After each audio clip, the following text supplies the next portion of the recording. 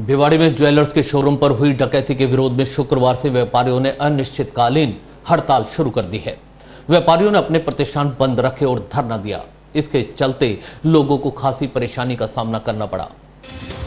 अलवर ज़िले के भिवाड़ी में इस माह अंशुल ज्वेलर्स पर आधा दर्जन हथियारबंद बदमाशों ने डकैती की थी। बदमाश फायरिंग करते हुए शोरूम से 10 लाख रुपए के जेवरात लूटकर फरार हो गए थे। इस दौरान दुकान में मौजूद एक ग्राहक भी घायल हो गया था। व्यापारियों ने पुलिस को डकैती की गिरफ्तारी और माल की बरामदगी के लिए सात दिन का समय दिया था। घटना के आठ दिन बाद भी पुलिस डकैतों का कोई सुराग नहीं लगा पाई। लेकिन समय सीमा समाप्त होने के बावजूद अब तक अपराधियों को पकड़ा नहीं जा सका।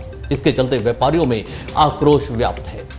इसके विरोध में भिवाड़ी व्यापार महासंघ ने अन्य संगठनों के साथ मिलकर अनिश्चितकालीन बंद का ऐलान कर दिया।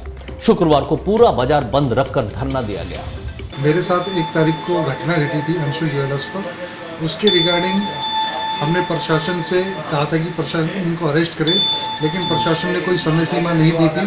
हमने ही व्यापारी जो सभी व्यापार व्यापारी इकट्ठे हुए और व्यापारियों ने पुलिस प्रशासन को सात दिन का समय दिया था, जो वो कल समाप्त हो गया था।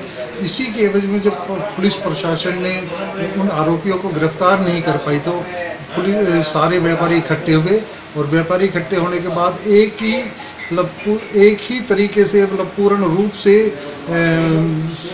बाज़ार बंद रखने का निर्णय लिया गया। सारे हमारे मतलब सभी भाई बहन यहाँ पर मौजूद थे। एक एक दुकान बंद करने का ये निश्चय लिया गया सभी व्यापारिक, व्यापारी।